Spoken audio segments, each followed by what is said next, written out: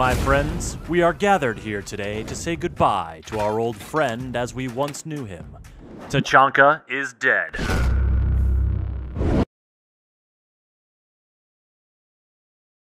Yo, what's going on guys? It's Shawk with DG. So in today's video, I'm actually doing a double upload. So the new Tachanka rework was just announced, so I thought I'd make a video on it really quickly, showing the gameplay, and then also giving my thoughts on it.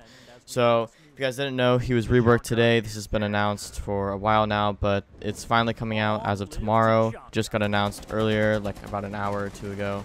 So I'll go ahead and show the clips of the gameplay, and then we'll go ahead and talk about the stats for his weapons, and also my thoughts on the operator overall. So I'll show the content now. Long live Tachanka! Everyone's favorite Siege meme lord is getting a much needed competitive rework. Now, when you're playing Tachanka, you won't hear this anymore. LMG, mounted and loaded! And you definitely won't be locked down to a single location. Tachanka now carries his LMG as his primary weapon and packs a new gadget, the Shumikha launcher, which fires incendiary grenades that excel at denying entry and roasting operators.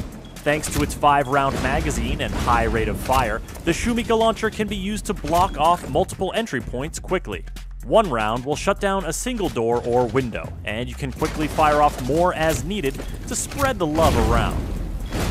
You don't even need line of sight to the area you want to cover because these bad boys bounce.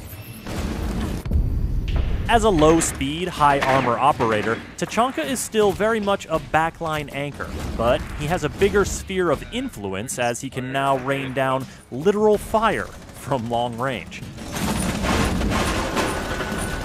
He's a good alternative to area denial operators like Smoke, and he can cover a greater number of small areas more quickly.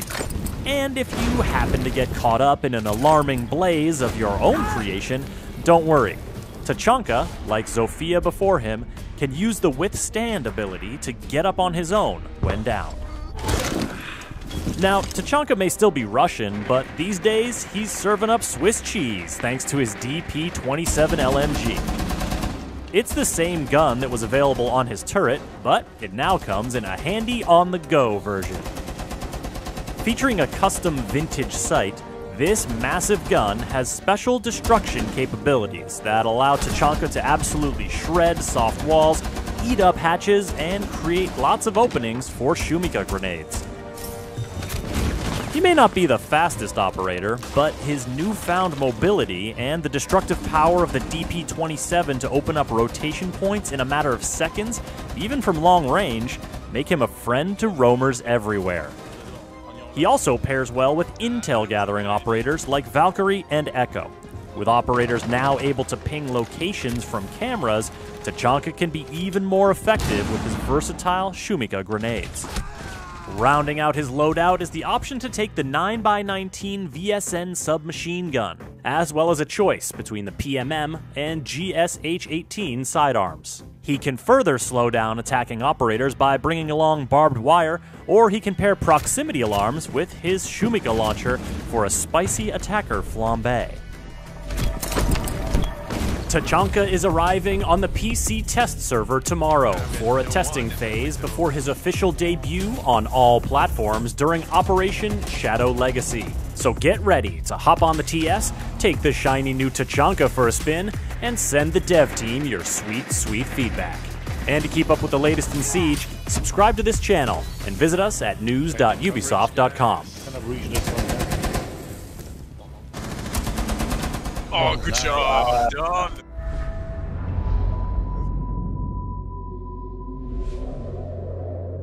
Alright guys, so that was the Tachanka rework. Uh, honestly, I think it's going to be crazy, crazy overpowered. I mean, as you saw, he has the choice of his normal SMG or the turret that he used to have, but now it's like the mobile version of it, and I think it three shots pretty much anyone. I think it does 48 damage per shot, so you could end up three-shotting practically anyone. Uh, that alone is just ridiculously overpowered to me, and the fact that he has so much ammo in it and can make rotates. I mean, as they showed, you can make rotates from pretty much any range in seconds. I think I think that's crazy, crazy overpowered. Not to mention his gadget. He has 10 of these bouncy fireball grenade things. And if you think about Smoke, Smoke only has three. His canisters last a bit longer, but each of Tachanka's fireball grenades last five seconds. So if you have 10 of them, I mean, that's that's crazy, you know?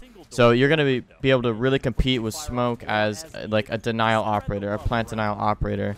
So it's going to be very interesting to see whether Smoke or Tachanka is actually going to be picked more, or if Tachanka is just going to be banned. So you guys have to let me know in the comments what you think is going to happen. If Tachanka is just going to end up being banned every Pro League game, or if he's just going to completely replace Smoke and he's going to be played every game. I'm excited to see what you guys think about that. But I think he's going to be really, really overpowered, and I wouldn't be surprised if we see him banned pretty much every game. For his uh, uh, secondary gadget, though, he has the proximity alarm and barbed wire. At least he doesn't have a shield. I think that's really good that he doesn't have a shield or a C4 or anything. But uh, the proximity alarm, I mean, that is that's a really good gadget. The barbed wire, of course, is good. Will pair well with his uh, his explosion gadget. I think Tachanka is going to be really, really powerful with operators like Melusi, Goyo, Clash, operators that kind of slow people down. So especially like if you've got a Melusi and someone gets stuck in the middle of that Melusi trap and you throw your Tachanka gadget in the middle of that, I mean that's almost a guaranteed kill. That guy can't move very fast and then you're also throwing all of these like Molotov cocktails basically on top of him. So it's going to be crazy. I mean, I think the meta is definitely going to change up a lot. Also, something to note with this is that Tachanka will most likely not be in a competitive quarantine.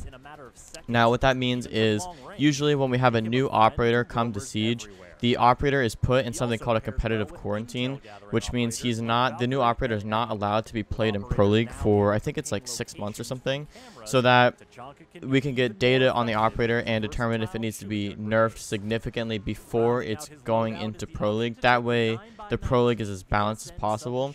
But Tachanka isn't a new operator. He's been in the game since the game came out. He is one of the you know original operators. So he's going to be able to go straight into Pro League. This is not a new operator. It's just a rework. So it's going to be really interesting to see how that happens in Pro League. I, I cannot wait to see next week's games and, and kind of how Tachanka is being played and all that. Um, it's going to be crazy, or maybe two weeks, whenever the test server is over. It's, it's going to be really interesting to see Tachanka in Pro League. Uh, I really want to see if he's going to be banned every game. I have a feeling he's going to be banned quite often, but the strats the Pro League players are going to have with this, I mean, I can't even imagine the, like, just the things you can do with this gadget. You're going to be able, all these pros are going to find these these angles where you shoot it at a wall and it bounces off that wall, off another wall, and then lands in this certain spot and blows up. It's going to be really crazy. So I'm really excited to see all of that happen. But let me know you guys' thoughts in the comments. And as always, thanks for watching.